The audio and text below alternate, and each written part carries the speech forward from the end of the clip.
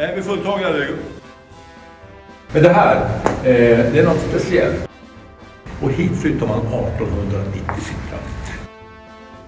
Och hovstall kan jag säga, det finns då i Sverige, det finns i Danmark, det finns i Holland, England och i Spanien. säger. Då stod den här och puttrade och så körde den ut på Skeppsholmen där flottans käcka gossar tog emot och körde kungafamiljen med slupet tillbaka till slottet. Det finns ju ett genuint motorintresse eh, hos kungafamiljen och Carl Philip då speciellt då. Men det här tycker jag är liksom lite kul att se, eh, den här vagnen. Den är otroligt vacker. Det är unionsvagnen alltså, eh, den finaste vagnen som fanns intill dess att då det blev unionen upplöstes 1905. Den vagnen färdades eh, kronprinsessan när de gifte sig, eh, var det 2010 va? Eller 2011. De nyttjar fortfarande kavaljerskuskarna vintertid när man rider ut det ska vara varmt och skönt. Och ni ska veta att sitta och föra ett fyrspann eller sexspann eller tvåspann eller vad det nu var.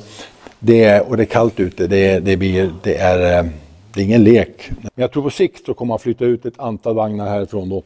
För att dels lätta upp, jag tycker, personligen det är för mycket vagnar här va. Eh, så att man får lite luft här. Så säger att det är kungens häst, utan kungens hästar ska ha det bra även de sista åren. Och en häst kan som sagt bli 28-29 år, va? så vid 20 år då går de ungefär vid pension.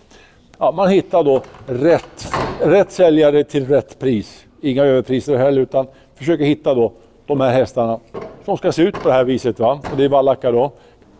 Det här är vårt ridhus då, som ni ser. Eh, jättevackert ridhus.